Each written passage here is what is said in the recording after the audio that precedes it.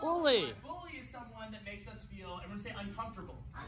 Right? Uncomfortable is whether it's something they say, do, or maybe they say something or do something behind your back. And even if you weren't there, and you didn't like it, made you feel uncomfortable, they're picking on you, which isn't good. Is that good? No, right? And I'm going to teach you guys how to make sure we keep that away from us, right? And the number one thing you guys have to have is confidence. Everyone say confidence. Confidence. And I know we've gone over it before, right? But confidence has two things. Everyone say a look A look and a sound.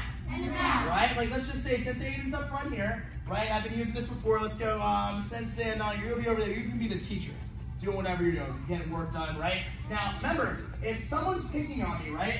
The number one thing you have to do, you have to be honest and you have to tell them to stop, right? And say stop. Stop. But it's the way that you do it that makes the difference, right?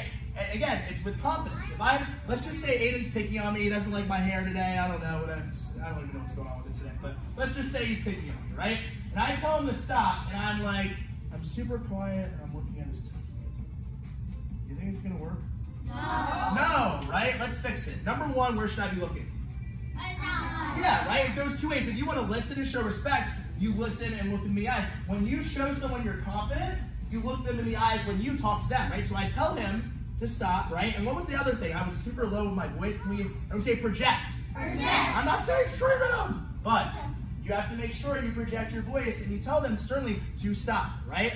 Compared to stop.